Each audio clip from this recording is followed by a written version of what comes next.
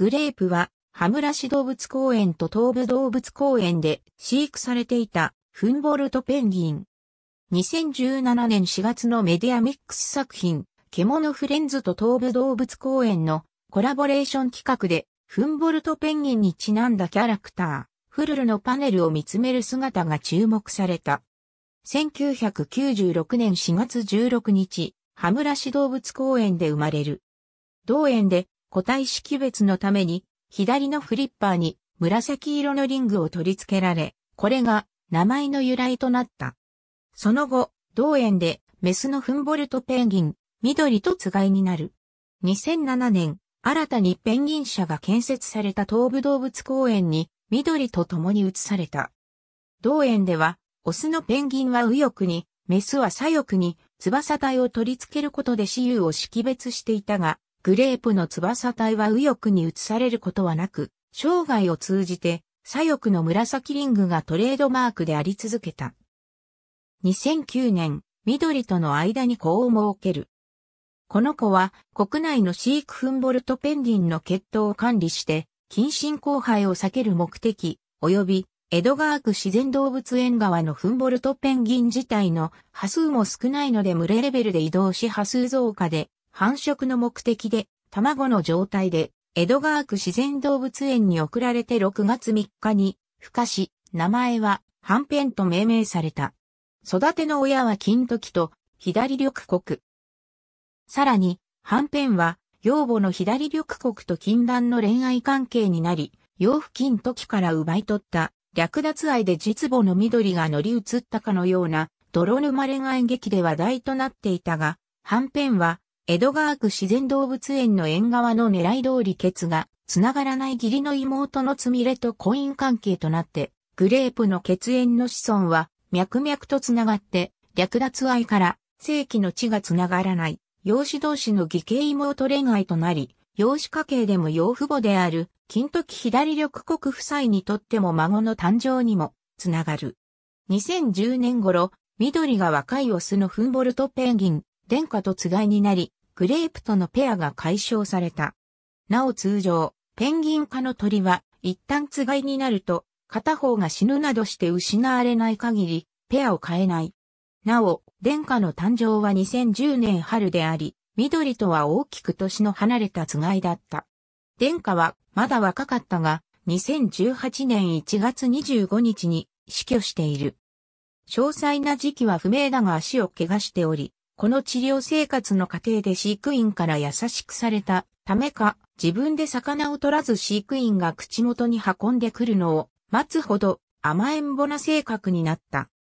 2017年4月、メディアミックス作品、獣フレンズとのコラボレーションに際し、同作に登場する擬人化された動物のパネルが計60枚、アルパカ、フラミンゴ、ライオンなど多くの動物の飼育施設に設置された。ペンギン車内には、フンボルトペンギンのキャラクター、フルルのパネル看板が設置された。すると、グレープはこのパネルに特に強い関心を示し、じっと見つめる姿が多くの来園者から目撃され、給仕の時間ですら食事を取らずにパネルの前を離れない姿が連日見られた。数日のうちにペンギンがアニメキャラクターに行為をしたとして認知され、インターネット上で話題となった。ほどなく個体名も周知されるところとなり、グレープ君として、また21歳という年齢が人間に換算すると80歳ほどに当たることから、グレジーとして一層の注目を集めた。グレープがパネルの前から動かない様子は、ソーシャルネットワークサービスやワイドショーでも取り上げられた。東武動物公園側も、グレープの名にちなみ、崩したブドウゼリーにシリアルとソフトクリームを合わせたスイーツを恋するグレープという名称で限定販売したほか、インターネット配信にてグレープの姿を伝え、テレビアニメ版、けものフレンズでフルルの声優を務めた築田行子も自身のツイッター上でグレープを取り上げる写真を載せた。獣フレンズとのコラボ期間が終わった後も、来園者の希望に応えてパネルは設置されたままになった。その結果、同園の2017年4月から同年6月までの来場者数は前年比の約2割増となったのに対し、ペンギン社の来場者は約20倍と大幅に増加した。同年7月に発売された書籍、獣フレンズオフィシャルガイドブック第4巻の帯にも、グレープの写真が掲載され、東武動物公園のグレープくんと紹介されている。グレープがパネルから離れない理由について、同園の広報担当は、メスとは認識していないのではないかと推測している。老齢であるため目が悪く、パネルを人間と勘違いしているのではないか、あるいは、各ペンギンには気に入った場所があるため、グレープの気に入った場所がたまたまパネルの近くに移動したからではないかと推測された。2017年10月10日頃より餌を食べているにもかかわらず体重の減少が続く状態が見られたため、同年10月11日より展示を中止して、ジョージ飼育員の目が届く場所に移された。パネルもグレープのそばに移され、台風18号の被害を避けるため、9月17日午後から9月18日朝にかけて一旦撤去されたのを除き、コラボ開始以来初めてパネルがペンギン社から取り除かれた。西洋当初のグレープは食欲もあり、一見すると元気そうだった。しかし、2017年10月11日の午後11時頃から容態が急変し、点滴などの処置を行うも、同年10月12日の午後2時30分に死亡した。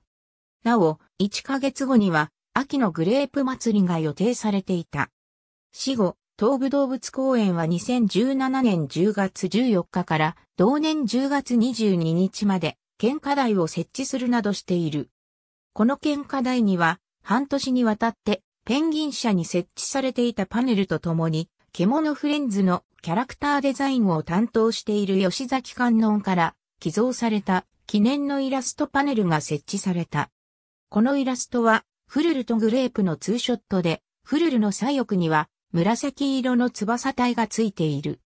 このパネルは続く11月11日から開催された秋のグレープ訓感謝祭以降、従来のフルルパネルに代わって他の獣フレンズキャラクターの中に混ざる形で展示されている。同園のペンギン担当飼育員は、時事通信社による取材や10月14日のニコニコ生放送において、これまで東部のペンギンとしてひとまとめに扱われていたものを、それぞれ名前を持った子として見てもらえるようにしたグレープの功績は大きいと語った。日本以外でも世界各国のメディアによってその死が報じられている。著名なものでは、イギリスの BBC、デイリーメール、アメリカのニューズウィーク、CBS、ドイツのビルトなどが挙げられる。ありがとうございます。